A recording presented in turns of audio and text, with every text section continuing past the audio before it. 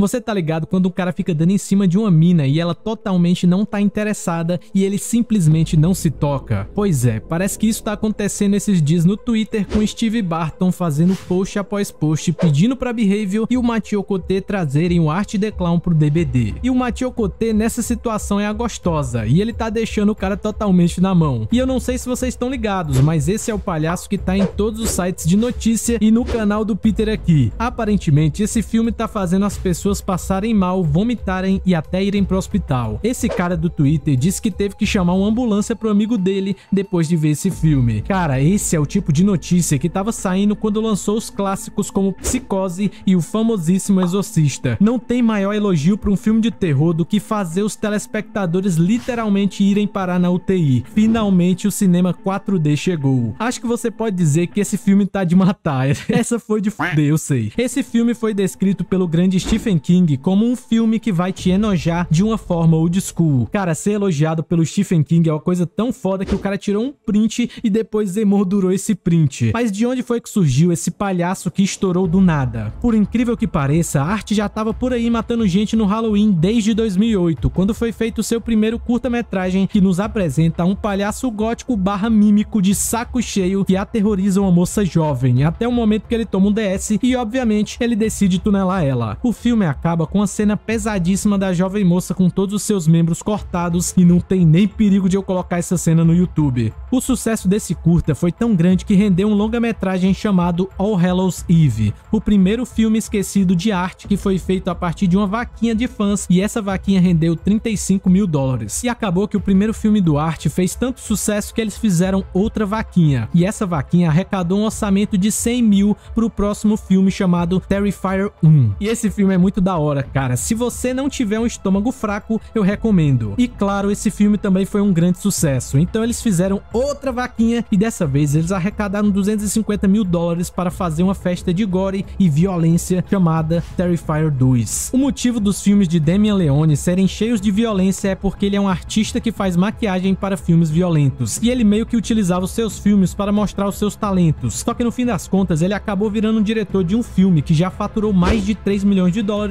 em menos de 3 semanas. E olha que o filme está sendo exibido em apenas 700 salas de cinema e já tirou o Top Gun Maverick do top 10 desses filmes das últimas semanas. Terrifier é um projeto movido por fãs que fez história esse mês, e se a Behavior quiser capitalizar no hype do filme, o Steve Barton está mais disponível que o meu amigo que posta Paitaon no status do Zap todo santo dia. Mas agora a pergunta é, será que o Mathieu Coté quer que o Art The Clown venha pro DBD? A petição para ter ele no jogo já tá aí há mais de 3 anos e não bateu nem mil assinaturas. Para você ter uma ideia, a petição para a volta de Stranger Things no DBD já tem mais de 40 mil assinaturas. Será que os fãs não querem Art The Clown no DBD ou simplesmente eles nem sabem que o DBD existe? Será que teria problema ter dois palhaços no jogo? Aliás, se fosse para vir um palhaço, será que a Behavior não daria prioridade para uma figura mais estabelecida como o Pennywise? E se Art o palhaço viesse pro jogo, qual seria o poder dele? Será que pela primeira vez a gente iria ver um killer que desmembra as vítimas? Será que o Dwight ia correr por aí sem um dos seus braços enquanto a Claudette tá com seus intestinos saindo? Eu realmente não faço ideia, mas eu diria que nesse momento a mira da Behavior está em Stranger Things, e eu diria que no Jason também, já que aparentemente ele teve os seus problemas legais resolvidos. Mas pelo que a Behavior fez com meu Billy, se eu fosse o Art eu teria medo de vir pro DBD. Descubra o que houve com Caipira clicando no vídeo que tá na sua tela agora. Beba sua água, coma seus vegetais e nunca deixe de ser essa pessoa maravilhosa.